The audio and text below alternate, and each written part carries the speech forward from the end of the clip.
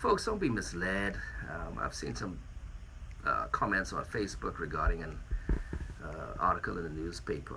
There was nothing in that article uh, indicating that I supported uh, gay rights or LGBT rights. Um, that's not that was not the essence of that article. If you would read, the article speaks about the fact that we as a country will have to determine whether or not they do have rights under our law.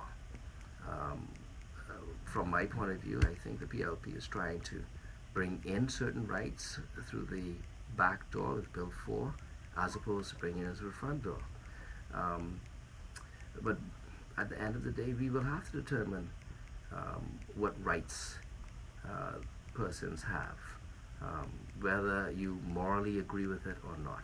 There was nothing uh, in that article that stated that I agreed with uh, gay rights or I disagreed with gay rights. I have said previously, and I maintain, that gay marriages is something that I do not agree with.